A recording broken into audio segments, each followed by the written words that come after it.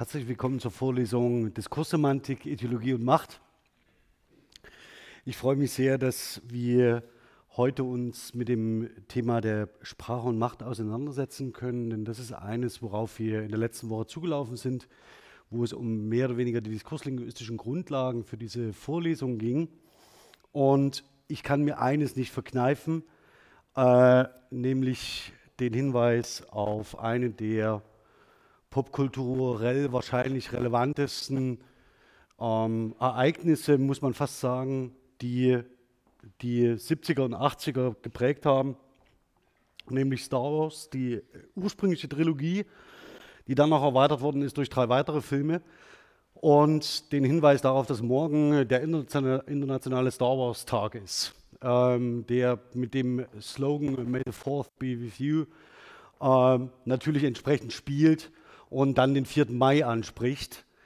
Ich werde mich aber heute bei dem Thema Diskurs und Macht oder Macht und Ideologie vor allen Dingen darum kümmern, wie die Diskurslinguistik die Frage der, des Machterwerbs, des Machterhalts und vor allen Dingen die Interessen bei der Machtdurchsetzung ähm, bespricht und möchte eigentlich mit der zentralen Frage einsteigen, die auch in dieser Adaptation zwischen, ohne jetzt zu spoilern, obwohl ich glaube gar nicht mehr, dass das geht, also, Darth Vader, äh, Yoda und Luke Skywalker, die Sie von links nach rechts sehen. Natürlich, äh, jeder wird diese Frage ähm, oder diese Aussage, May the Fourth be with you, anders äh, interpretieren und jeder von Ihnen, jeder von diesen Protagonisten oder Akteuren steht für eine unterschiedliche Ausformung und ein Verhältnis zur im diffusen bleibenden Macht. Die Frage, wer spricht, stellt Foucault, an den ich direkt anschließen kann aus der letzten äh, Sitzung, ähm, tatsächlich als die zentrale. Das heißt, seine zentrale Perspektive ist die Akteursperspektive. Und ich würde mir mit heute, ihn mit Ihnen gerne heute näher anschauen, wie er das Macht oder Machtprinzipien und die Macht versteht. Und dann in der Adaptation weiterschauen, zu Busse, wie man diese Auffassungen von Macht diskursanalytisch ähm, operationalisieren kann. Deswegen, heute wird es etwas textlastiger. Das lässt, äh, lässt sich nicht vermeiden.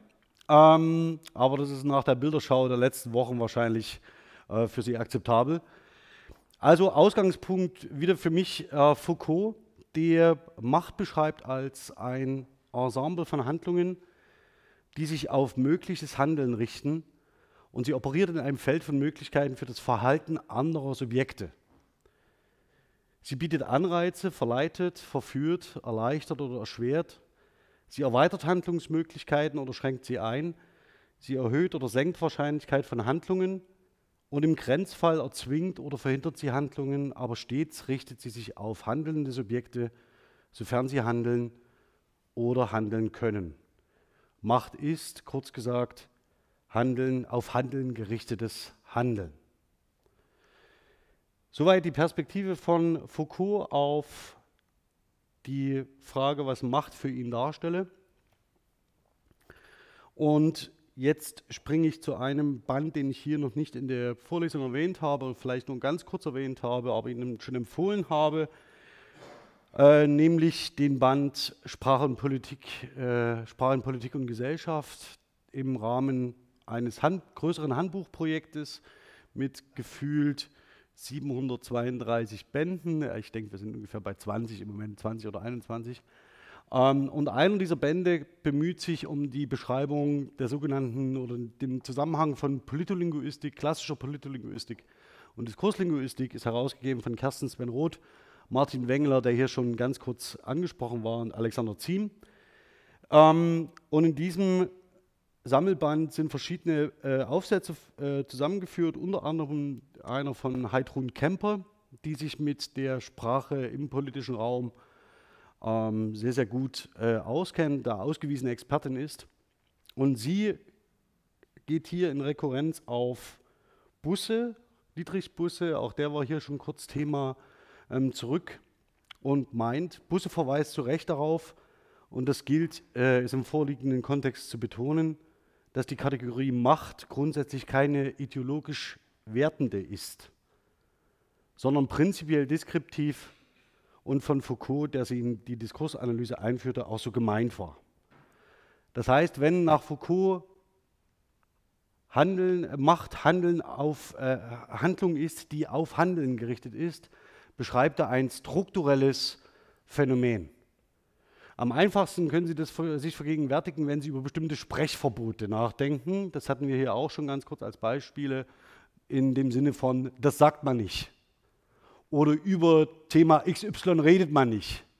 Oder über dieses Thema kannst, redest du am besten, wenn wir zu Hause sind, also hinter geschlossener Tür.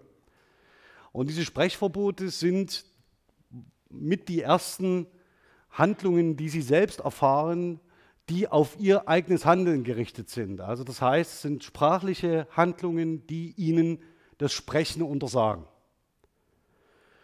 Sie können gern alles durchdeklinieren, was Sie als Kinder noch erfahren haben, in denen Ihnen irgendwer gesagt hat, das macht man nicht, das tut man nicht. Alle diese Handlungen sind auf Ihr Handeln gerichtetes Handeln. Wenn Sie so wollen, ist Erziehung durchgängig ein Ausdruck von Machtverhältnissen. Das Ganze nicht bewertend, das ist wichtig, nicht ideologisch bewertend, sondern nur strukturell zur Beschreibung der Machtabhängigkeitsverhältnisse und der geltenden Hierarchien, in die sie sich als Mensch, der in die Welt geworfen ist, gefälligst einzufinden haben.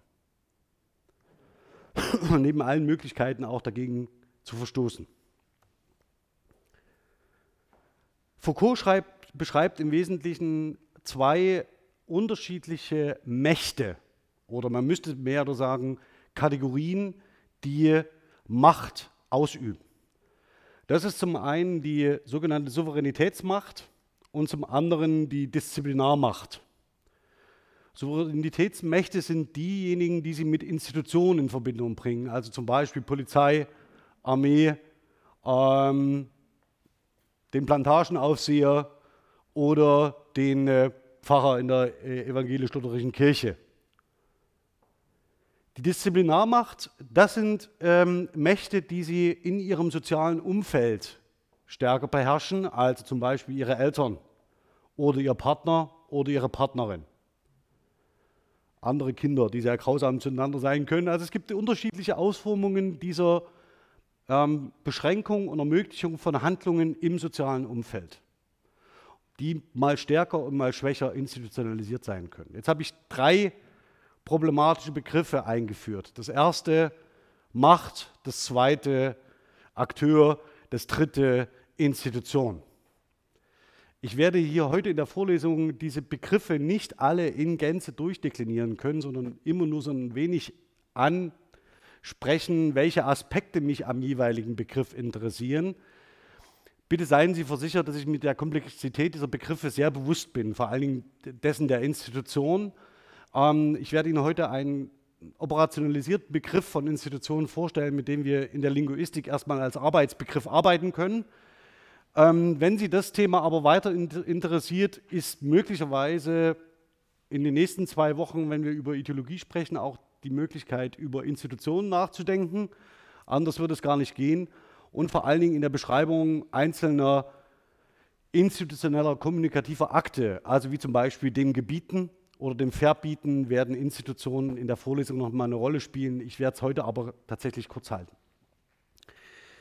Im Wesentlichen beschreibt Foucault über diese Machtmechanismen, also die Souveränitätsmächte und die Disziplinarmächte, unterschiedliche Grade von Freiheiten, also von Beschränkungen und Freiheiten. Und einen zentralen Aspekt, den er hervorhebt, dass sich Widerstand gegen die Machtverhältnisse bereits dort zu etablieren beginnt, wo sie sich darüber bewusst sind, dass sie in einem, dass ihre Handlungsmöglichkeiten beschränkt werden. Das ist, um es mal ganz deutlich zu sagen, auch seine Stoßrichtung, in die er argumentiert. Das heißt, er ist nicht unpolitisch, um es vorsichtig auszudrücken. Nichtsdestotrotz ist das ein interessanter Ansatzpunkt. Also dort, wo es eine Reflexion über bestehende Machtverhältnisse gibt, setzt bereits der Widerstand gegen diese Machtverhältnisse ein.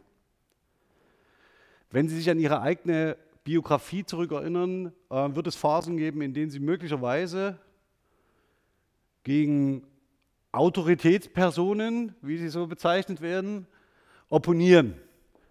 Das können sein im institutionellen Kontext Lehrerinnen und Lehrer, die halten das ab, ja, da sind sie nicht die Ersten, die da durchlaufen. Viel gravierender ist es im Elternhaus. Das heißt, wenn sie in Konflikt kommen mit ihrer für sie gesetzten Disziplinarmacht ähm, und dieses Verhältnis äh, ausloten müssen, um ihren eigenen Weg zu finden, äh, um dann selbst irgendwann disziplinarisch tätig zu sein. Ähm, meistens finden sich dann Eltern und äh, dann Großeltern sehr nah wieder beieinander, weil man dann denselben Problemen ausgeliefert ist. Aber Sie sehen, dort wo ähm, wir, gibt, es zum Beispiel häufig, das Thema wird sehr häufig gewählt in Staatsexamina und in Prüfungen, Jugendsprache.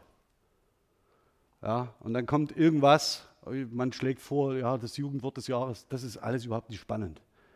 Was spannend ist, dass sich Jugendsprache dadurch auszeichnet, dass sie genau an dem Punkt ansetzt, äh, wo es zum Widerstand gegen die Disziplinarmacht geht. Also das heißt, Jugendsprache ist dafür da, um sich gegenüber den Alten durchzusetzen und etwas anderes zu machen. Also möglicherweise auch gegen geltenden Gebrauch zu, sprachlich zu verstoßen, um deutlich zu machen, wir sind anders als ihr. Und mit diesem Ausweisen des Anderssein beginnt der Widerstand gegen bestehende Machtverhältnisse. Aus denen kommen sie in der Regel nicht raus, weil sie kein eigenes Geld haben. Das ist auch eine ganz andere Frage. Sie versuchen es natürlich trotzdem.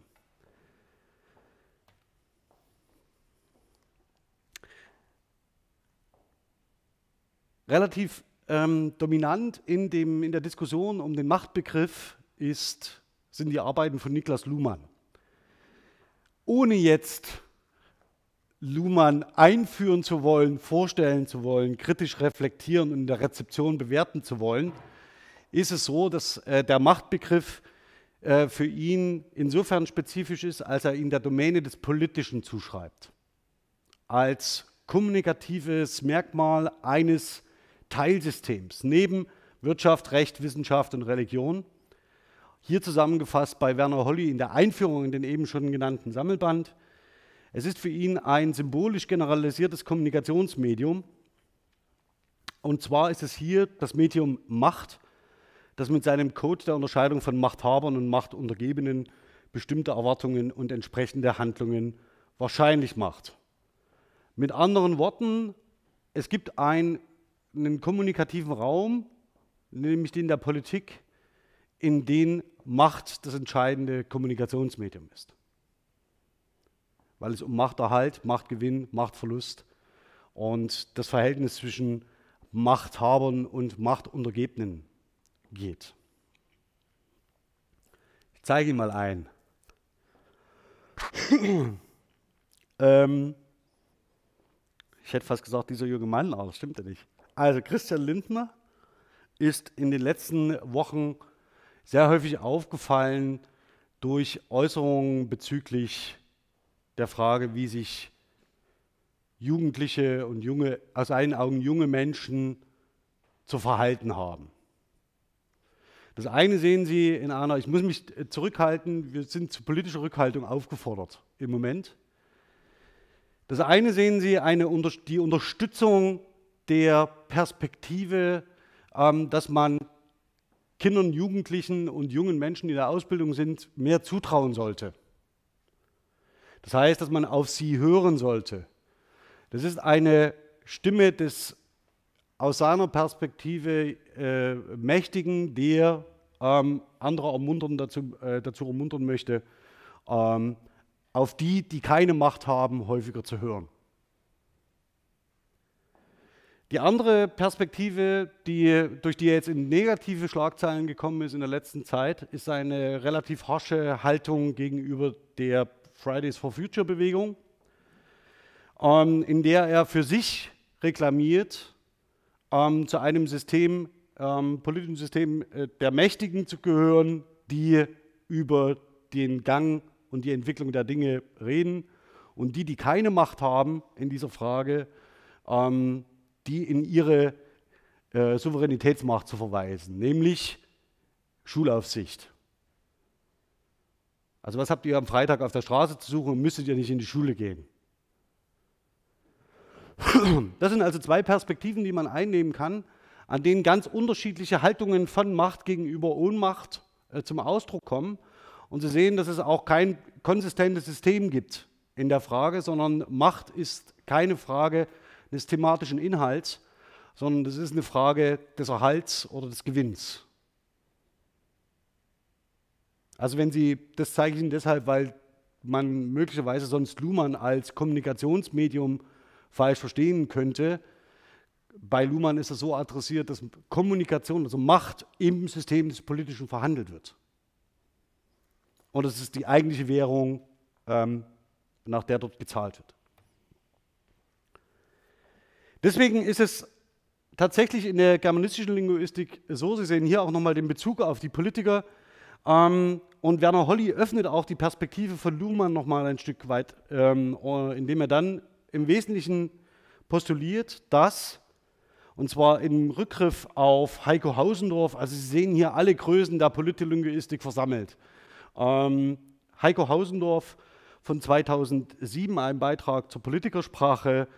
Ähm, es geht im Wesentlichen nicht unbedingt um äh, ähm, Akteure im Bereich des Politischen sondern es geht schlussendlich, wenn wir über Machtfragen nachdenken, um jene, die wir als politisch identifizieren, und zwar als Träger kollektiv bindender Entscheidungen.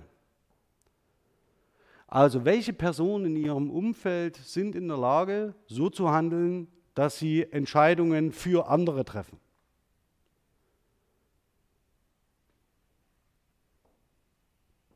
Und der Punkt ist, dass sie sich in der Art und Weise positionieren. Wenn Sie, ähm, das bin ich mir gar nicht mehr sicher, ob Sie das wissen, ähm, gibt es bei Ihnen daheim so etwas wie eine Sitzordnung bei Tisch, als wenn man isst? Gibt es das äh, bei Ihren Großeltern noch? Gibt es da feste Plätze, auf die man sich nicht setzen darf, weil da immer Person X sitzt? Gibt es das? Oder so etwas, dass jemand immer vor dem anderen in einen bestimmten Raum hineingeht. Also immer jemand anderes einem anderen den Vortritt lässt. Haben Sie bei Ihren Großeltern mal erlebt, dass bestimmte Speisepläne gemacht werden, also was man an welchem Tag isst? Ja? Haben Sie vielleicht da schon mal gehört, dass jemand für jemanden ein äh, bestimmtes, äh, äh, eine Diät für jemand anderen kocht, was er essen muss? Ist Ihnen das schon mal bei Ihren Großeltern aufge, aufgefallen? Okay. Ich würde Sie mal bitten, schauen Sie mal in Ihrer Eltern- und Ihrer Großelterngeneration, ob Sie solche versteckten Regularien finden.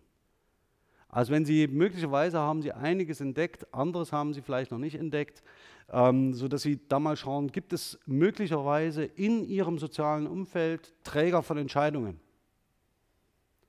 Träger von Entscheidungen, die kollektiv für alle verbindlich sind. Gibt es so etwas?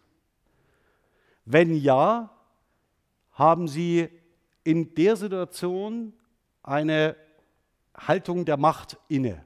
Und das Entscheidende ist, Sie kommunizieren das auch. Also das heißt, Sie weisen sich als solche aus. Es gab vor ein paar Jahren mal so eine Adaptation ähm, äh, so, eines, so eines Liedes, ich komme jetzt nicht mehr drauf, das, das hieß irgendwie Hör auf die Mutti. Haben Sie das mal gehört? Also im Sinne von Hör auf die Stimme, hör, was sie sagt. Ähm, wenn Sie, schauen Sie mal, das, ich glaube, das war Stefan Lukas oder irgendwas, ne, für Radio PSR. Schauen Sie mal bitte bei YouTube, ob Sie das finden. Hör auf die Mutti. Hör, was sie sagt. Da sind Sie ungefähr an dem Thema dran, was ich meine. Also sie positioniert sich, äh, also in diesem Lied, wenn jetzt keine anderen Beispiele kommen, äh, es wird in diesem Lied postuliert, es gibt eine Rolle der Mutter, die bestimmte Regeln aufstellt, gegen die man besser auch nicht verstößt, weil im Lied gleichzeitig die Sanktionen mitverhandelt werden. Ähm, und diese Positionierung ist nicht nur durch eine Eigenpositionierung möglich, sondern auch durch eine Fremdzuschreibung. Also Sie können jemandem sagen, du bist ja wie X. Und ähm, diese kommunikative Positionierung ist beiderseits möglich. Also als Selbstzuweisung, ich kann selbst sagen, ich lebe nach Prinzip in XY oder jemand anders weist mir diese Rolle zu. Viel entscheidender ist, dass sie das nicht selbst tun müssen. Viel effektiver ist, dass sie sich so äh, dominant platzieren, dass von anderen diese Zuweisung kommt, ohne dass sie sich erklären müssen. Ich zeige mal ein Beispiel. Wie gelingt das? Das hat natürlich alles sehr viel mit Fragen der Inszenierung zu tun. Sie, ähm, deswegen hier exemplarisch, auch darauf werde ich überhaupt nicht eingehen können. Möglicherweise kommen wir darauf nochmal auch in Frage zu, bei Fragen der Ideologie zu diesem Thema. Möglicherweise auch zu dem äh, ein oder anderen thematischen Ausflug in Richtung Gebot, Gesang, Performance, Ritual, Architektur. Denn da spielt es eine große Rolle. Irving Goffmans Arbeiten zur Inszenierung des Selbst. Ja? Also das heißt, wie präsentiere ich mich als Mensch ähm, vor meiner Bühne? Und das Ganze können Sie natürlich auch übertragen auf Gesellschaften und auf, vor allen Dingen auf die Selbstpräsentation von Macht in bestimmten Situationen. Für diejenigen, die von Ihnen zu jung sind, um die historischen Zusammenhänge zu erkennen, das, was Sie hier sehen, ist faktisch das letzte, der Letz-, die letzte Präsentation ähm, der äh, Träger der politischen Macht äh, in der ehemaligen DDR kurz vor ihrem Zusammenbruch. Also man sieht auf diesem Bild, es ist vielleicht für Sie ein bisschen klein, äh, in der Mitte direkt äh, Erich Honecker und rechts neben ihm Michael Gorbatschow äh, vor einer Ehrenparade, das war damals üblich, immer schön Militär, Frieden sichern. Ähm, und Sie sehen 40 Jahre DDR als inszeniert als Bühne vor Zuschauern. Also die Bühne ist nicht dafür da, dass die Akteure miteinander reden, sondern dass sich die Macht zeigt. Das ist das Ziel. Das kennen Sie heute noch aus unterschiedlichen äh, Paraden, die ähm, in, in, Russland durchgeführt wurden. Also Militärparaden sind im asiatischen Raum noch üblich. Das heißt, oder in den Vereinigten Staaten. Also da sehen Sie, das, ähm, dass diese Präsentation von Macht und hier vor allen Dingen von militärischer Macht äh, häufig auch ähm, der Inszenierung von einzelnen Personen gilt. Wenn Sie also darüber, äh, sich also fragen, wie kann ich ähm, die eigene Position der Macht ausweisen, dann sind damit immer sofort Fragen der Inszenierung verbunden und wie man bestimmte ähm, Regeln durchsetzt. Auf Ihren Alltag übertragen, ich versuche mal noch ein Beispiel, vielleicht können Sie damit was anfangen. Ähm, durften Sie zu Weihnachten zu einer bestimmten Zeit nicht in irgendwelche Räume? Okay, wurde Ihnen, wurde Ihnen gesagt, warum? Also wurde das irgendwann mal expliziert, warum Sie jetzt noch nicht in den Raum Y dürfen?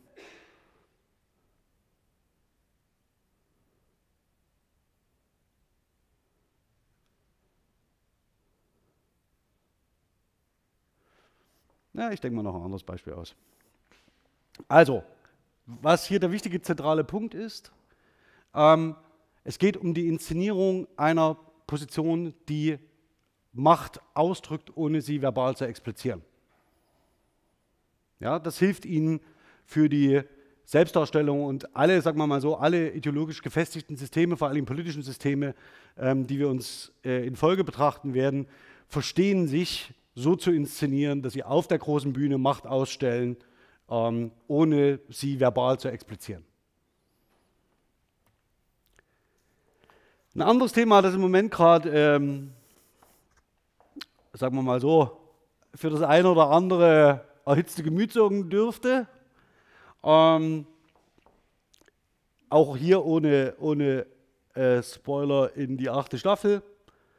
Es gibt eine Szene zwischen, äh, das Entscheidende ist hier auch die Akteursposition. Es geht hier nicht um Institutionen, ich rede hier im Moment nur über Akteure. Also Erich Honecker ist als Akteur in dieser Präsentation der Macht faktisch unsichtbar. Ja, also ist faktisch nicht sichtbar, ist aber auch gar nicht relevant, weil der Staatsapparat sich in Gänze präsentiert. Also die Akteursposition ist hier nicht relevant. Auch hier in dem folgenden Beispiel wird es mir um Akteurspositionen gehen. Es gibt in einer nicht näher benannten, äh, ah doch, ich sag's, also im Lied von Eis und Feuer, ähm, die ähm, adaptiert worden ist filmisch von HBO, äh, als Game of Thrones. Sehen Sie hier die erste Episode der zweiten Staffel ähm, The North Remains, ähm, was übersetzt wird mit Der Norden vergisst nicht. Ähm, und Sie sehen hier äh, zwei Akteure nebeneinander, nämlich einmal äh, äh, Baelish äh, alias Kleinfinger oder Littlefinger und Cersei Lannister, die als Königin Regentin in dem Moment äh, versucht, äh, was sie eigentlich die ganze Zeit probiert, irgendwie ihre Sachen beieinander zu halten. Und diese zwei Akteure stehen für zwei Prinzipien, die in dieser Episode expliziert werden. Baelish auf der einen Seite postuliert, Wissen ist Macht. Ja, das ist das, wofür er steht. Und für diese Position, nämlich dass Wissen Macht sei, haben wir eine diskurslinguistische Tradition, die episch ist. Ich habe Ihnen nur mal eine Auswahl von wenigen Konzepten dazu präsentiert. Pierre Bourdieu spricht von dem sogenannten symbolischen Kapital. Also das heißt, dass durch Wissen in, von bestimmten Diskursakteuren sie ihre Position im Diskurs natürlich stabilisieren können. Das nächste sind, ist äh, Schwab-Trab ähm, und hier ist es so, dass sie von Repräsentationsbeziehungen der ähm, diskursiven Eliten spricht, die zu einer breiten Öffentlichkeit den, den, den Vorsprung haben, dass sie durch ihr Wissen ähm, mitbringen und vor allen Dingen nur über Repräsentationsbeziehungen mit der Öffentlichkeit verbunden sind, aber nie ihr Wissen preisgeben.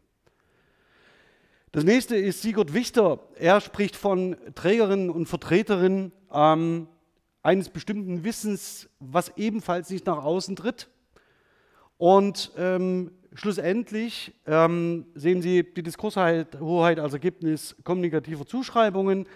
Das hatte ich vorhin versucht anzudeuten, dass man von außen jemandem zuweist, du hast aber viel Wissen ähm, und dann äh, ihm eine besondere Haltung und Position im Diskurs beimisst.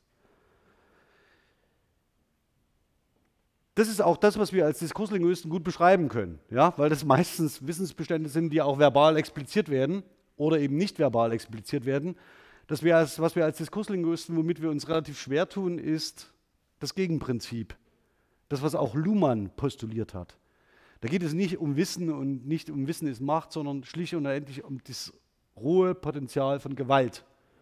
Und das heißt einfach, Macht ist Macht. Und damit hat sich das erledigt. Äh, wenn Sie diese, ähm, und dafür steht Cersei Lannister, äh, Lannister ähm, wahrscheinlich wie keine andere in dieser ähm, literarischen Bearbeitung. Wenn Sie wollen, schauen Sie sich diese, äh, gern diese Folge an ähm, und vielleicht auch nur diese zwei, drei Minuten, ähm, um die es dabei geht. Und da sehen Sie, wie diese Mechanismen aufeinanderprallen und wer vor allen Dingen äh, am Schluss die Oberhand behält. Ähm, es ist äh, Cersei Lannister mit dem Prinzip Macht ist Macht. Das Bild kennen Sie bereits.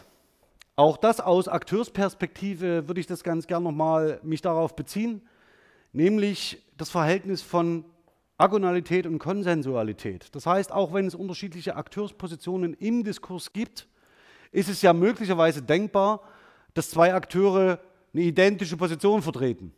Also, dass sich zwei Akteurspositionen ähm, aufeinander ähm, äh, abstimmen lassen. Das, was ähm, Sie sehen hier an der sogenannten Tempelreinigung, die hatte ich schon ganz kurz zitiert, ist das Prinzip der Agonalität. Das heißt, ein Akteur setzt seine Diskursposition primär und versucht, Macht zu erreichen, indem er die Diskurshoheit an sich zieht. Ähm, der, der hier bildlich dargestellt ist, ist ähm, Jesus Christus links und Sie sehen in der, in der Hand, das habe ich Ihnen beim letzten Mal nicht gezeigt, ähm, zumindest nicht sprachlich, das ist, die, ist eine Peitsche. Ja, also er peitscht ähm, Verkäufer im Tempel aus und treibt sie aus dem Haus.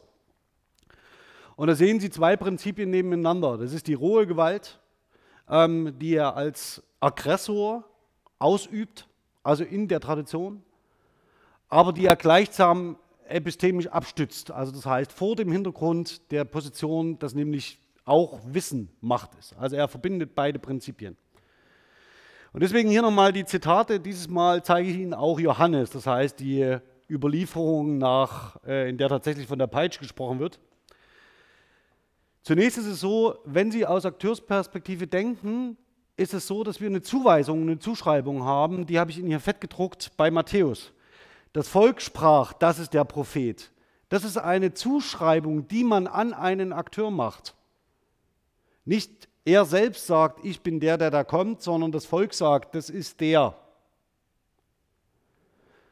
Also nicht er selbst muss sich kommunikativ platzieren und sage, ich, äh, ich, ich trage die Macht, ja, ob mit blauem oder rotem Lichtschwert, sondern jemand anderes tut es für ihn. Das ist die beste Voraussetzung überhaupt, um erfolgreich zu sein. Das nächste ist aber, dass er neben den rohen Gewaltakten, die er ausführt, ähm, einen Diskurs oder die Geltung eines Diskurses bestreitet. Also das heißt, er rebelliert gegen eine geltende kulturelle äh, oder eine praktizierte kulturelle ähm, Art und Weise, mit Heiligtümern umzugehen. Und dann begründet er es explizit, nämlich mit dem Rückgriff auf überlieferte Traditionen, überliefertes Wissen. Also er sagt nicht, ich setze das Prinzip Macht gegen euch durch, weil ich es kann, also Prinzip Macht ist Macht, sondern ich setze es durch, weil ich Wissen trage. Und diese Rohheit der Gewalt, mit der er vorgeht, ähm, ist bei Johannes überliefert. Also das heißt, er geht in den Tempel und dreht aus den Stricken, die den Verkäufern gehören, eine Peitsche und peitscht sie damit aus. Also er benutzt noch ihre eigenen Waffen gegen sie. Und ähm, das ist äh, in der biblischen Darstellung absolut singulär. Also dieses, dieses Ereignis, wo äh, rohe Gewalt, ähm, die zu dem, äh, zur Durchsetzung eines Machtanspruchs eingesetzt wird, so deutlich expliziert wird. Aber äh, jedes Evangelium ähm, bindet es immer an eine biblische Tradition zurück, also bindet es immer an Wissen zurück, das in einem Ideologie, ideologisch gesicherten äh, Raum steht ähm, und lässt es nicht bei dem Gelten dieses rohen Pr Gewaltprinzips äh, stehen. Das habe ich beim letzten Mal ausgeklammert, nämlich die, der Punkt, in welche, wo in einer Diskursanalyse oder Diskurslinguistik nach Foucault ähm, die Diskursakteursposition eine Rolle spielt. Und angesprochen hatte ich das sogenannte diskursanalytische Mehrebenenmodell von Warnke Spitzmüller, in dem sie so ziemlich alle linguistischen Beschreibungsebenen in einen äh, äh, Modell gießen, in ein Modell gießen zur Analyse von komplexen ähm, kulturellen Äußerungszusammenhängen. Und Sie sehen hier, dass äh, man nicht nur diese diskursive ähm, Zusammensetzung von Äußerungszusammenhängen beschreiben kann, sondern dass man sich auch äh, bemüht, zugrunde liegende Wissensformationen ähm, zu beschreiben, dass man generell diskursive Praktiken einer Wissensformation beschreibt und dass man eben auch auf Diskursakteure blickt. Allerdings setzen äh, Warnke und Schmitz, äh, Spitzmüller diese Diskursakteursposition nicht so prominent, wie, es, äh, wie ich es Ihnen jetzt gerade dargestellt habe. Also nicht die Akteursposition ist die primäre, sondern es gibt noch eine Menge anderer Faktoren, die neben den Akteuren eine Rolle spielen. Also soll heißen, nicht nur, weil sie sich hinstellen und sagen, ich habe Macht, wird das ihr soziales Umfeld ändern, sondern es müssen auch noch eine große Zahl externer Faktoren dazukommen, die diesen Machtanspruch begünstigen. Idealerweise ist es so, dass die um sie herumstehenden ihnen die Macht zuweisen und nicht sie selbst. Aber auch dafür braucht es externe äh, Faktoren. Ähm, Im Falle der biblischen Figur Jesus Christus ist es die, dass sie verheißt ähm, die Versöhnung ähm, im Glauben. Das ist ein ganz äh, nachvollziehbares Ziel und dem kann man sich auch anschließen. Zumindest erzählt es die biblische Tradition so. Dafür nehmen wir uns, glaube ich, mal ein bisschen Zeit. Was Sie hier sehen, ist dieses diskurslinguistische Mehrebenenmodell von Warnke Spitzmüller. Und ich würde Sie gerne darauf hinweisen, dass, die, dass wir eine transtextuelle Ebene haben, ganz links, und eine intratextuelle Ebene. Und zwischen diesen beiden Ebenen steht die sogenannte Akteursperspektive, die, auf die ich mich jetzt erstmal ganz kurz konzentrieren möchte, weil wir aus der, dieser Richtung kommen. Ähm, bei Warnke Spitzmüller ist es so, dass sie beschreiben, wie diese Diskurse, äh, diese Akteure ähm, Diskursregeln prägen können, aber gleichzeitig auch durch ihr Handeln Diskurse prägen. Die Akteursperspektive ist also eine relativ entscheidende. Und wenn man etwas weiterhin äh, schaut, kann man unterschiedliche Interakteurs, äh, Interaktionsrollen unterscheiden. Ähm, man kann Diskurspositionen bestimmen. Und hier sehen Sie ganz klar die Phänomene, die hier in der Vorlesung interessieren, nämlich soziale Stratifizierung, Macht, ähm, die Frage, wie man in Diskursgemeinschaften agiert, welche, ähm, ob man zu den sogenannten Ideology Brokers gehört, also das heißt diejenigen, die eine ideologische, was ist, das wäre jetzt, also muss man mal anders ansetzen, die eine Idee verfolgen, die sie zu einer Lehre ausbauen, die man dann später Ideologie nennen kann. Also gibt es jemanden, der diese trägt, um an dem Beispiel äh, Jesus Christus zu bleiben, für, dafür ist es die Ideologie des Christentums, also das man so bezeichnen kann, die verschiedene Säulen hat. Sie können es aber ganz äh, gern ausweiten auf alle anderen ähm, äh, Ideologien, die Sie kennen. Ähm, das Voice-Konzept, also das Konzept der Stimme, ist ein sehr interessantes, was hier prominent wird und auch das ist aus der Soziologie gespeist. Ähm, und unterschiedliche Vertikalitätsstatus, das heißt Beschreibung von Akteuren, die untereinander in unterschiedlichen hierarchischen Verhältnissen stehen. Darunter sehen Sie das, was Sie typischerweise aus der Linguistik kennen dürften, nämlich unterschiedliche sprachliche Beschreibungsformen, von der textorientierten Analyse über propositionsorientierte Analyse bis hin zur äh, wortorientierten Analyse mit unterschiedlichen ähm, Beispielen, die man dort beschreiben kann. Ich möchte Sie auf Folgendes hinweisen, weil das im Rahmen der Politolinguistik relevant wird. Das sind die sogenannten Stigma-Wörter. Auch das werden wir nicht das letzte Mal, glaube ich, hören in dieser Vorlesung oder sogenannte Fahnenwörter. Das heißt, die für eine bestimmte Ideologie also die ein Ideology Broker vor sich herträgt wie eine Fahne, um die eigene Idee ähm, zu äh, etablieren. Stigma würde benutzt werden, um das Gegenüber, das heißt denjenigen, der nicht einer Ideologie anhängt, ähm, herabzusetzen oder zu beschimpfen. Ähm, daneben sehen Sie, äh, wenn Sie weitergehen, bauen darauf auf. Propositionsanalysen, vor allen Dingen metaphorische Analysen spielen hier eine Rolle. Ähm, das werden wir uns auch noch genauer anschauen. Und in dem Feld bewegen wir uns also, wenn wir Machtpositionen analysieren. Entscheidend ist für die Vorlesung hier, dass wir uns vor allen Dingen auf der wortorientierten Analyse bewegen, ein bisschen die textorientierte Analyse ausgreifen, wenn wir nämlich Zusammenhänge von Beispielen uns anschauen, das werde ich Ihnen heute auch noch zeigen. Und wir bewegen uns in dem, was wir im Moment bestimmen, im Wesentlichen auf Akteursebene. Also welche Akteure stehen für Machterhalt, wie erhalten Akteure ihre Macht im Diskurs und wie verlieren sie. Jetzt ist es ein Kniff, da macht sich die Linguistik ein bisschen einfach, äh, indem man sagt, ja, wir können darüber nachdenken, dass ja eigentlich auch Institutionen Akteure sind. Damit hat man die Frage der Institution oder des schwierigen Institutionenbegriffs hebelt man in den meisten Einführungen aus. Das heißt, die wenigsten linguistischen Darstellungen versuchen überhaupt, den Institutionenbegriff zu definieren. Also würde mal ein Argument vorgeschoben und sagen, ja, wird in sehr vielen Wissenschaften äh, behandelt, ist hinreichend unpräzise, wir machen hier mal weiter. Das gilt nicht für alle. Für Dietrich Busche zum Beispiel gilt das nicht. Sie erinnern sich vielleicht, dass ich Ihnen angekündigt habe mit den Worten, dass er ein 1200 Seiten Buch geschrieben hat und ich nicht weiß wann. Ähm, aber sagen wir mal so, er ist sehr produktiv. Und er schlägt hier eine Institution, Definition für den Begriff der Institution vor, und zwar 2013 ist es, nee, 2017, ähm, aber basiert faktisch auf Arbeiten von 2013 und greift noch weiter zurück ähm, ähm, in seine ersten Publikationen aus den 90er Jahren. Ich würde das jetzt vorlesen und würde Sie bitten, das mal mit nachzuverfolgen. Die ist hinreichend komplex, lässt sich aber auf wenige Aspekte dann zusammenzurren.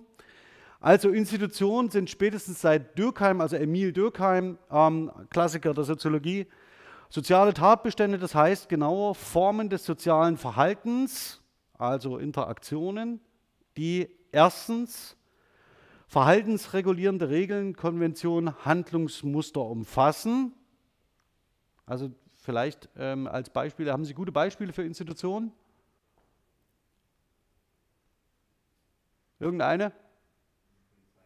Polizei? Das wird, schnell, das wird sehr schnell sehr hart. Ähm, vielleicht ähm, denken Sie entweder an Polizei, ja, denken Sie an Schule. Das ist ein sehr schönes Beispiel. Ähm, oder denken Sie gern auch an Ihr Elternhaus. Oder, wenn Sie Kinder haben, an Ihre eigenen Kinder. Also sind Sie die Institution. Ja? Okay, also Institutionen sind spätestens seit Dürkheim soziale Tatbestände, das heißt genaue Formen des sozialen Verhaltens, die verhaltensregulierende Regeln, Konventionen, Handlungsmuster umfassen. Geht ihr die Hände waschen vorm Essen? Und damit zweitens als soziale Konventionen dem unmittelbaren intentionalen ändernden Zugriff des einzelnen Individuums entzogen sind. Das heißt, als Kind haben sie keine, ähm, gehen sie sich nicht intentional Hände waschen, weil sie intrinsisch motiviert sind, sondern sie handeln zwar, aber die Intention für diese Handlung übernimmt eine Ordnungsmacht für sie. Das geht so weit, dass man sagt, geht, geh nochmal, ist noch nicht sauber. Aber es gibt dann auch Sanktionsmechanismen, die sie davon abhalten, also die sie im Händewaschen üben bei der Polizei, äh, bei polizeilichen Maßnahmen. Wie ist jetzt eigentlich, hat jemand was aus der Rigaer Straße gehört? Ist da friedlich geblieben in Berlin? Hat jemand von Ihnen da was gehört am 1. Mai? Niemand? Dann war es wahrscheinlich okay. Also, das heißt, die sind Ihnen als Individuum entzogen. Darauf haben Sie keinen Einfluss ähm, weil sie meist unbewusst befolgt werden und daher dem Individualbewusstsein extern und häufig nicht zugänglich sind. Das heißt, Kinder fragen in der Regel nicht, also fangen erst in einem bestimmten Alter an zu fragen, warum sie das machen sollen. Oder warum muss ich jetzt schon wieder Zöpfe flechten? Warum äh, kann ich nicht aufbleiben? Warum muss ich halb acht ins Bett? Und so weiter. Also Sie sehen, es gibt eine Menge von solchen Verhaltenskodizes, durch die sich versuchen, die Eltern das Leben leicht zu machen. Und in den ersten Jahren widersprechen Kinder in der Regel nicht und irgendwann stellen sie aber diese Regeln mal in Frage. Weil teilweise sind diese Regeln tatsächlich schwierig. Die meisten zumindest. Okay. Als Institution bezeichnet man sie, weil diese Handlungsmuster nicht nur dem willentlichen ändernden Zugriff des Individuums entzogen sind, sondern darüber hinaus auch viertens auf das aktuelle Verhalten eines Individuums in sozialen Kontexten einen handlungsleitenden Zwang ausüben isst nicht mit den Fingern. Oder die, die, die, die Gabel gehört in die rechte Hand oder die Gabel gehört in die linke Hand. Können Sie jeden Knickekurs können Sie hier durchbuchstabieren. Funktioniert wunderbar mit jedem Merkmal. Dieses fünftens teilweise auch gegen dessen Intention prädeterminieren. Also auch wenn Sie nicht mit den Fingern essen wollen, äh, auch wenn Sie mit den Fingern essen wollen, denken Sie schon, bevor Sie damit anfangen, eigentlich soll ich das nicht tun. Und insgesamt sechstens den Eindruck erwecken, als seien sie gesellschaftliche Regularitäten, die auch unabhängig von den einzelnen Manifestationen des allgemeinen Handlungsmusters eine eigene Form der Existenz haben. Schau mal da drüben, der macht es auch nicht. Kommt Ihnen das bekannt vor als aus Ihrer eigenen äh, Biografie? Wie ist denn das bei Müllers? Wie machen die denn das mit dem Fernsehen abends, 22 Uhr? Oder ihre Eltern, das, wenn, wenn sie mal ein positives Beispiel haben, davon will ich gar nichts wissen. Ja, wir machen das so. Aber ich erkläre auch nicht warum. Ähm, das letzte ist, ihr Wandel kann jedoch nur so gedacht werden, dass er aus der Veränderung auch des individuellen Einzelhandelns hervorgeht. Das hatten Sie bei einer sprachlichen Entwicklung, haben wir das schon häufiger mal gehabt. Das heißt, es gibt faktisch keine, vor allen Dingen für solche sozialen Institutionen, natürlich keine Stelle, in der Eltern dazu beraten werden, warum sie Kindern abends das Fernsehschauen nicht erlauben.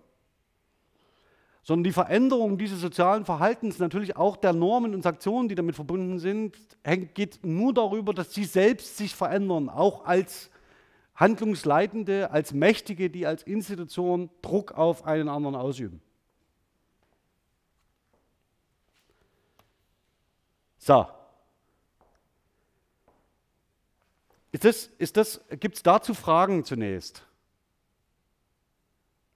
Um das mal ganz kurz äh, zu illustrieren, Busse versucht hier eine operationalisierbare Definition des Institutionsbegriffs unter Rückgriff auf alles, was auf dem Markt ist. Also, und zwar von Durkheim über Goffman und sonst irgendwen. Ja? Ich habe deswegen oben die eckigen Klammern gemacht. Genau.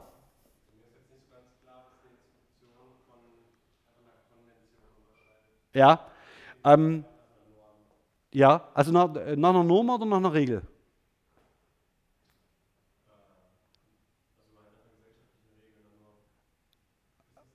Naja, also ähm, bei der Differenzierung zwischen Norm und Regel ist es so, dass eine Regel aus Gebraucher wächst. Das ist das, was wir als Konvention bezeichnen würden. Also das heißt, wenn sieben Leute neben Ihnen ähm, das Eis mit Bargeld bezahlen, nehmen Sie dann eine EC-Karte. Ja, oder suchen Sie auch irgendwie nach Bargeld noch, weil das irgendwie. Und diese Konventionalisierungen von sozialen Praxen, die würde man eher als Regeln bezeichnen, als Konvention. Eine Norm würde es dann, wenn es heißt, unter 4 Euro kein Bargeld. Ja? Wenn das äh, und das gesellschaftlich sanktioniert wäre, zum Beispiel von der Polizei. Also wenn Sie es doch probieren, haben sich vor der Schutzmacht auszuweisen. Ähm, das ist in der Regel nicht der Fall, sondern der Kassierer würde in dem Fall sagen, hier unter 4 Euro kannst du vergessen, ja? steck das Plastik weg, gib mir Bargeld. Aber dann ist er normsetzende Instanz, äh, der gleichzeitig die Einhaltung der Norm überwacht und diese auch sanktioniert. Ja? In der Tat ist dieser Institutionenbegriff hier so weit gefasst, dass man das Verhältnis zur Konvention diskutieren müsste. Das Entscheidende ist aber dem der innewohnende Machtbegriff. Das heißt, es gibt eine Macht, die auf die Durchsetzung achtet. Und das unterscheidet es ganz massiv von Konventionen. Bei Konventionen ist es so, dass sie gruppendynamische Prozesse haben, sodass sie auch einzelnes Handeln, aus dem sie als Individuum heraus denken, jetzt würde ich eigentlich ganz gern was anderes tun, ordnen sie sich aber selbst der Erwartungshaltung, die sie von der Gruppe unterstellen, unter. Deswegen funktioniert soziales Miteinander eigentlich ganz gut, weil es alle Menschen tun. Und das sorgt aber gleichzeitig, und das ist, deswegen ist die Frage wichtig, dafür, dass sich bestimmte Haltungen ändern. Also wenn von diesen sieben Leuten auf einmal drei Leute mit EC-Karte bezahlen wollen und dann nicht mehr nur drei, sondern vielleicht vier, dann kommt der erste von hinten mit äh, äh, eine äh, Apple Watch oder mit einer Android Watch, ja, und will mit Uhr bezahlen. Und das heißt, irgendwann sind es nur noch zwei Leute, die mit Bargeld zahlen, alle anderen zahlen anders. Ähm, dann müssen sie sich natürlich nicht mehr verstecken und sagen, ja, dann mache ich halt irgendwie auch irgendwas. Und diese Veränderung von sozialen Konventionen und vor allen Dingen sozialen Praxen können dazu führen, dass sie als Machtinstanz in einer Hierarchie zum Beispiel andere Konventionen fördern und andere äh, unterdrücken. Bestes Beispiel, das darf ich gar nicht laut sagen, ist das Nasepuppeln. Ja, das Nasebohren. Aber haben Sie noch eine Rückfrage?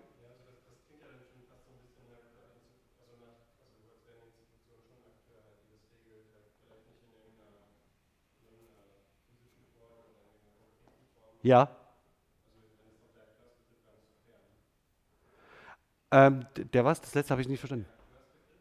Der Akteursbegriff, ja natürlich, aber es ist natürlich eine metaphorische Übertragung. Ja, also, die, also man denkt Institutionen als Akteure und ähm, unterschlägt aber, dass es natürlich in einer Institution, also denken Sie zum Beispiel an, ähm, an Eltern, wenigstens zwei gibt. Und die Haltung der zwei ist nicht immer identisch.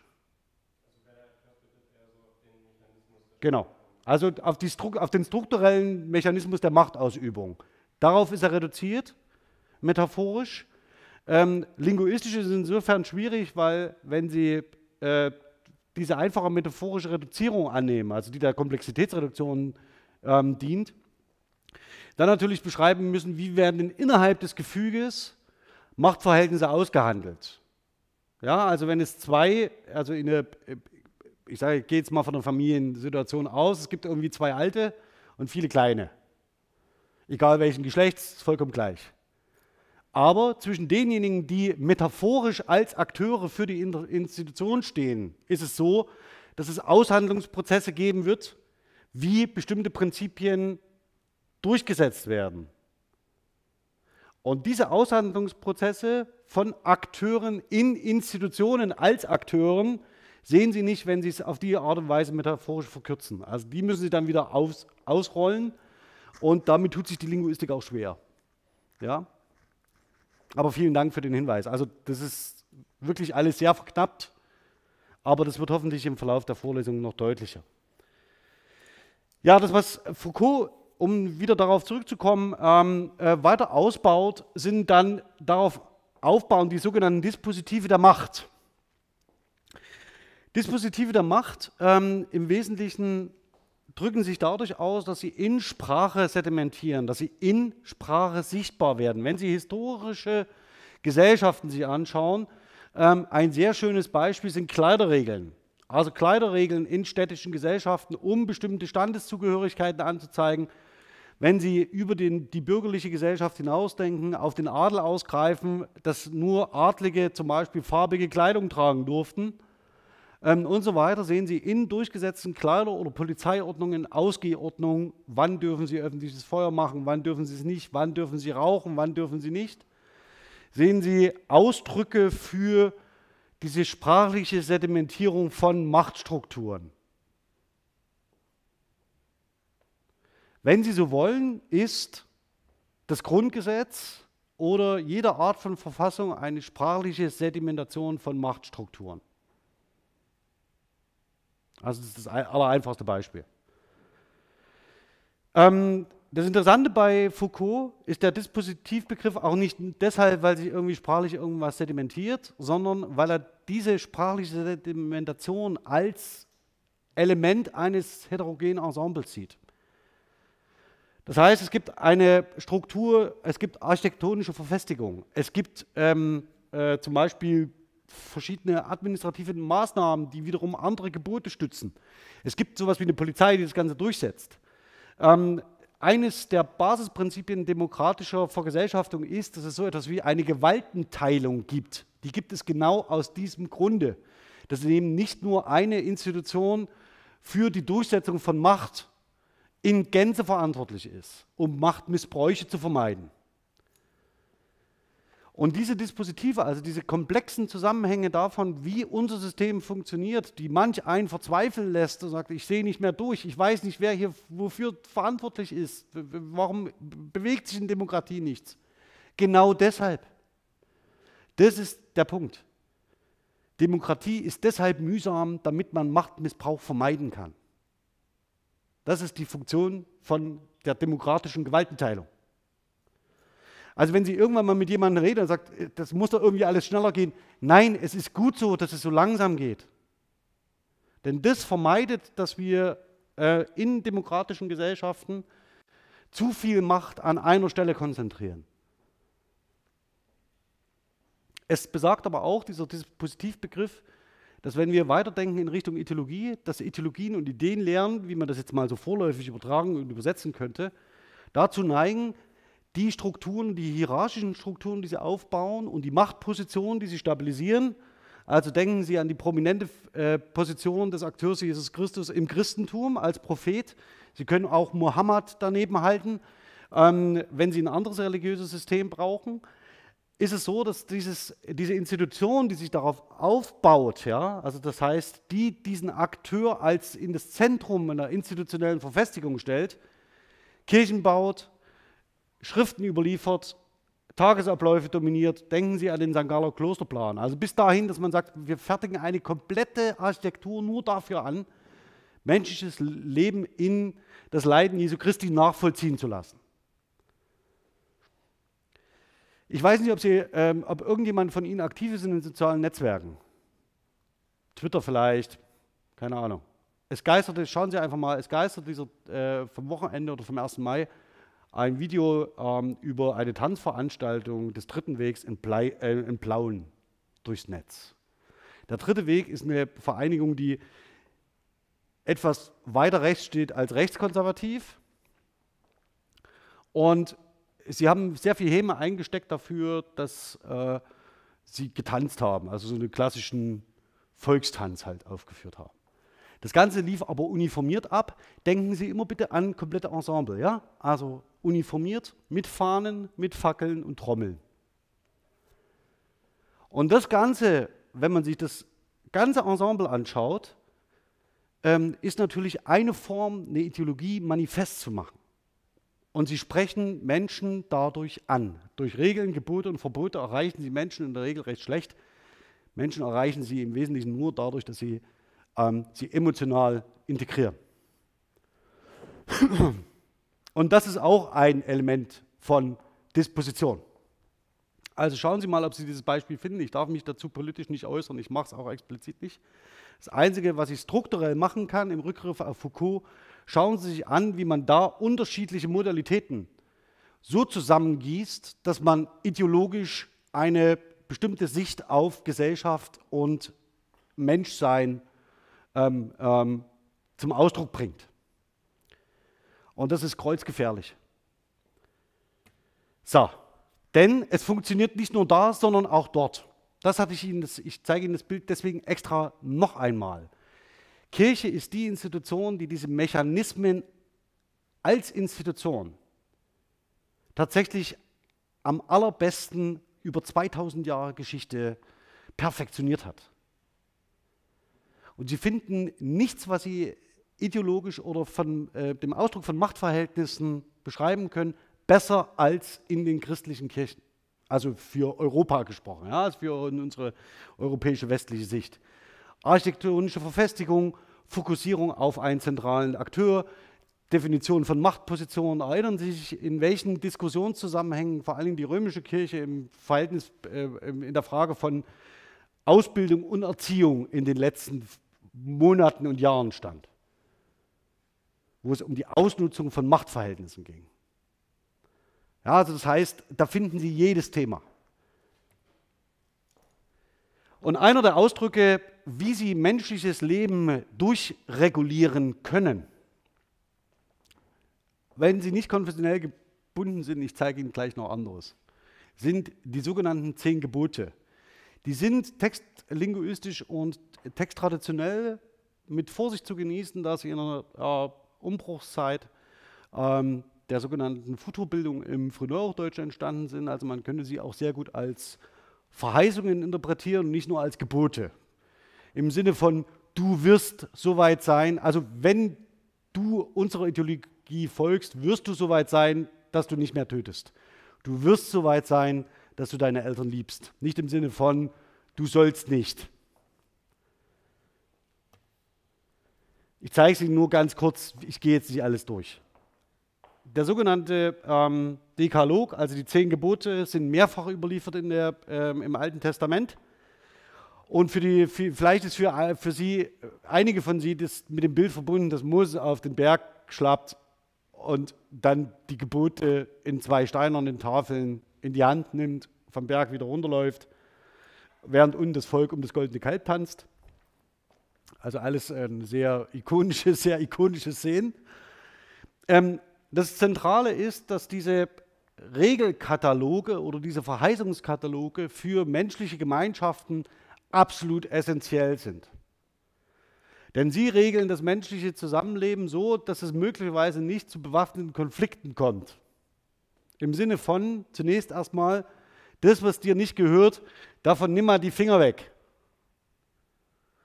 Das, was zu dir gehört, das erhalte möglichst lang am Leben und wenn du Lust auf was anderes hast, was jemandem anderem gehört, nimm die Finger weg. Vor allen Dingen Frauen. Ja, Frauen, Frauen und Vieh, also das, was so Lebensgrundlagen sind. Und dann das Zentrale für das Christentum, die, äh, die Konzentration auf die eine Gottheit. Das ist im Wesentlichen das, was das Christentum auszeichnet vor anderen Religionsgemeinschaften in dieser Zeit, in diesem Raum. Und es ist eins, das, was das, äh, hier das Judentum ähm, an das Christentum überträgt und von dort aus auch den Islam natürlich maßgeblich prägt. Also das heißt, es sind diese drei abrahamitischen Religionen, die sich auf Abraham als Stammvater zurück ähm, beschreiben lassen. Ähm, und das Entscheidende ist, wir werden uns hier Geburtsstrukturen noch anschauen. Diese Geburtsstrukturen oder Verbotsstrukturen, die verbieten nicht nur, sondern sie schaffen auch Ermöglichungsräume. Also dadurch, dass äh, Dinge nicht verboten werden, können sie in diesen äh, Teilen, die nicht verboten sind, ihre Handlungen frei entfalten. Aber sie sehen auch, dass durch Gebote wie diese, selbst wenn sie Verheißungen seien und selbst wenn sie so interpretiert, in der Tradition wird, werden daraus häufiger Gebote, ist es so, dass diese Gebote ihr Handeln leiten. Sie dürfen also ab diesem Zeitpunkt nicht mehr töten, wenn sie es bis dahin gern gemacht haben.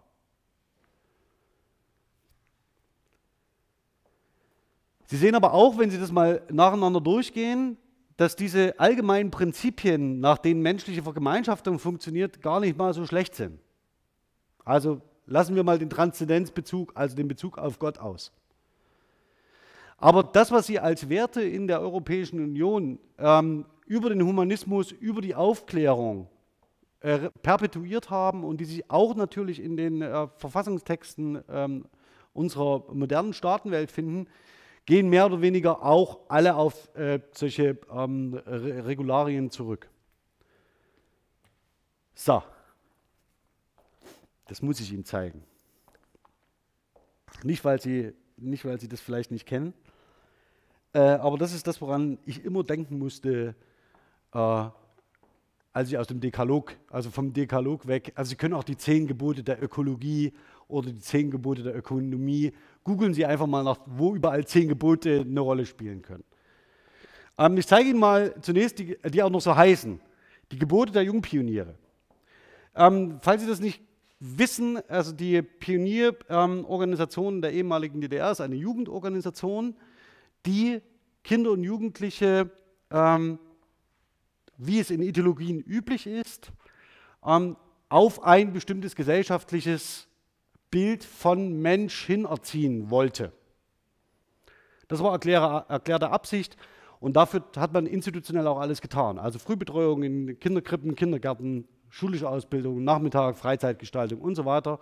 So lange, bis sie am 1. September, das war so der der Schlag, äh, alles wurde neu am 1. September. Ja? Also am 1. September kam man in die Schule und am 1. September hat man auch seine Arbeit angetreten oder sein Studium angefangen und so weiter. Das heißt, bis sie eine mündige Person waren, die in diesem System, ähm, sagen wir mal so, ideologisch gebildet worden ist. Ähm, die sogenannten Gesetze der Themenpioniere, kann ich Ihnen auch sagen, habe ich persönlich, also ich war weder in dem einen noch in dem anderen, aber der Punkt ist, die Gesetze der Themenpioniere habe ich persönlich nie gesehen. Die spielten also in dem politischen Alltag, ähm, den ich zumindest wahrgenommen habe, keine entscheidende Rolle. Die Gebote der jungen, äh, jungen Pioniere, da gab es einen sogenannten Pionierausweis, die ähm, hat jedes Kind bekommen, die, das dieser Organisation beigetreten ist, neben dem blauen Halstuch. Also das heißt, Sie haben ein optisches Erkennungszeichen. Sie sind Teil einer Gruppe. Und wenn Sie alt sind, äh, entsprechend älter sind, tauschen Sie dieses rote, äh, blaue Halstuch gegen das rote Halstuch der Thälmann-Pioniere, um dann irgendwann mit dem, was man Jugendweihe nennt, oder kurz vorher, also irgendwie, wenn Sie 14 Jahre alt sind, in die sogenannte Freie Deutsche Jugend, also in die FDJ zu gehen. Also das war dann die Nachfolgeorganisation. Sie waren also als Kinder durchbetreut, ideologisch. Wenn Sie sich diese Geburte mal anschauen, ähm, ist neben einigen Besonderheiten, die natürlich mit diesem ideologischen System zu tun haben, also wir lieben die Deutsche Demokratische Republik, ist natürlich im Sinne von ähm, der, äh, dem Gottesbezug, also dem Transzendenzbezug im Christentum ein bisschen heikel. Sie sehen aber, dass diese Positionen durchaus identisch sind. Ja? Also das heißt, da geht es um den Bezug zur Macht, also zu dem geltenden ideologischen System. Danach sehen Sie aber, dass man ähm, in den, äh, äh, im Dekalog soll man die Eltern nicht töten. Und hier sehen Sie aber diese positive Wandlung. Also das heißt, Sie sehen genau die Kehrseite von dem, was ich Ihnen gerade gezeigt habe. Es geht also nicht um das, was Sie nicht tun sollen, sondern es geht darum, was Sie tun sollen. Sie sollen Ihre Eltern lieben. Den Frieden, die Freundschaft mit Kindern der Sowjetunion und aller Länder habe ich in Praxis immer nur ganz wenig gesehen also die, also die, die gelebte, gelebte Beziehung. Ähm, und dann danach sehen Sie eine Reihe von Tugenden, die, die durchdekliniert werden. Also das heißt, wir, wir äh, sind fleißig und wir sind diszipliniert und wir helfen und helfen und tanzen und basteln, machen Sport und ein Halstuch. Also das heißt, diese, dieses Zeichen ähm, der Zugehörigkeit zu einer ideologisch motivierten Gemeinschaft. Also Sie können das Ganze auch gerne rückverlängern in die HJ und BDM. Und es gibt auch andere Jugendvereinigungen, also sowas zum Beispiel wie die Pfadfinder. Legen Sie das mal alles nebeneinander, werden Sie sehen, das unterscheidet sich so, so stark nicht voneinander mit einem Unterschied, nämlich dem Bezug auf das geltende ideologische System. Die Themenpioniere, die drehen das Ganze noch eine Schleife stärker. Das ist aber, glaube ich, wirklich in der politischen Realität der 80er Jahre spielte das, denke ich, keine entscheidende Rolle mehr. Vor allen Dingen, wir beschützen den Frieden und hassen die Kriegstreiber. Das ist, also das atmet noch wirklich den, den, den Geist der 60er und 70er. Okay, damit will ich es aber belassen. Ich wollte damit illustrativ nur zeigen, es gibt diese ähm, ideologische Ausformung von Regularien, die handlungsleitend sind in beinahe jedem ideologischen System. Also ein ideologisches System ist eigentlich kein gutes, wenn es diese Regularien nicht gibt. Denn sonst können sie nicht handlungsleiten und das wiederum bedeutet, würde bedeuten die Abwesenheit von Macht. Also mit anderen Worten, dort wo Macht ist, wirkt sie auch handlungsleitend. Und um Machtverhältnisse sehen zu können, brauchen sie Handlungsleitung. Also man kann das strukturell auch anders wenden, ja, und durchaus positiv wenden. Wenn, man, wenn Sie sich also fragen, was muss ich tun, um eine, meine Machtposition gesellschaftlich zu dominieren, äh, würde ich Ihnen Folgendes empfehlen. Äh, denken Sie darüber nach, ob Sie nicht irgendwie einen Transzendenzbezug herstellen können. Das zweite ist, formulieren Sie äh, griffige Lieder, mitreißende Tänze, denken Sie über eine architektonische Planung nach und vor allen Dingen über Geburtsstrukturen, die menschliches Zusammenleben ähm, äh, dominieren. Und das letzte entscheidende Erkennungszeichen. Menschen lieben Erkennungszeichen, also dass sie zu einer Gruppe gehören. Also das ist, damit sprechen sie Menschen an, ja, also die Zugehörigkeit zeigen können, wie hier mit dem blauen und mit dem roten Halstuch. Der letzte Punkt, auf den ich jetzt noch ganz kurz hinaus will, ist der Punkt, den Foucault darüber hinaus macht. Sein zentral, also wir, ich hab, wir haben uns jetzt um den Machtbegriff gedreht, um den Akteursbegriff, schlussendlich auch um die Institution als Akteur. Worauf Foucault hinaus will, ist das System zwischen Überwachen und Strafen. Also wie kann eine Machtposition weniger so ausgebaut werden, dass man viele überwacht und straft? Und wie kann man das vor allen Dingen analytisch fassen? Und zu welchen Verwerfungen führt das in menschlichen Gemeinschaften? Sie sehen hier äh, Presidio äh, Modelo, das ist ein auf Kuba ein Gefängnisentwurf ähm, wo die Zellen in diesem Raum im Kreis um einen Wachturm angesiedelt sind und sie faktisch, dass faktisch eine Person ausreicht, um den ganzen Raum zu dominieren. Ziemlich hässlich und vor allen Dingen, das kann man jetzt nicht mehr, kann man nur noch äh, erahnen. Sie sehen nicht, aus welcher Richtung man aus dem Turm heraus blickt. Also sie können sich nie sicher sein, nicht gesehen zu werden. Also die Verkörperung äh, der totalen Macht auf ähm, diejenigen, die da unterworfen sind.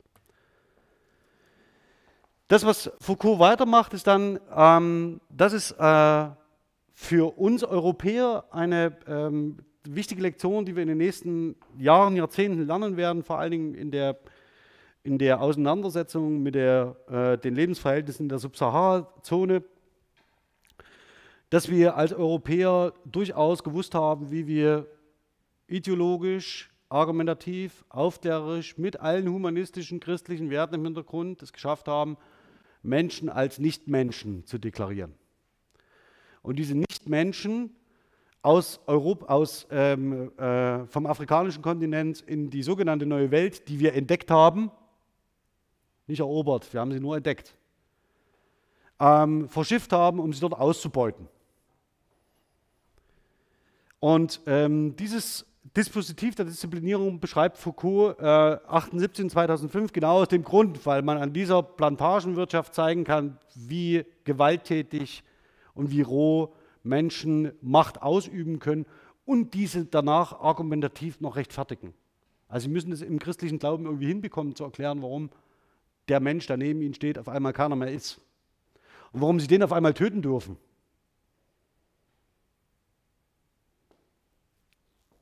oder verkaufen. Und das Ganze führt natürlich noch einen Zacken weiter, ähm, wenn Sie sich die Frage stellen, welche Ideolog äh, ideologischen Verwerfungen haben Sie im Nationalsozialismus? Also was ist notwendig dafür, dass ich in einem Bereich europäischer Kulturen ähm, so etwas manifestieren kann wie eine Ideologie, die Menschen prinzipiell einen Wert zuweist. Also die zu einem mehr oder weniger, ja, ich will das jetzt gar nicht weiter ausführen, weil ich politisch nicht argumentieren darf, aber die ähm, mehr oder weniger das strukturell schafft, eine bestimmte Machtposition einzunehmen, die alle anderen ihre ideologischen Werte, die sie kennengelernt haben, vergessen lässt. Also diese ideologischen Werte zum Beispiel, die christlichen Werte, die sie tragen, die humanitären Werte, die sie tragen, die aufklärerischen Werte, die sie tragen, dass die nicht mehr gelten. Und das kann nur über ein Prinzip funktionieren, nämlich, dass mit einem Schlag nicht mehr Wissen Macht ist, sondern Macht Macht ist.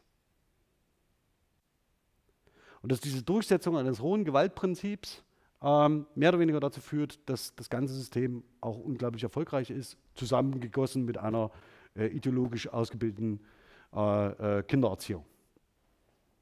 Deswegen, wenn Sie irgendwann mal vorhaben, eine Ideologie zu etablieren, denken Sie an die Kinder.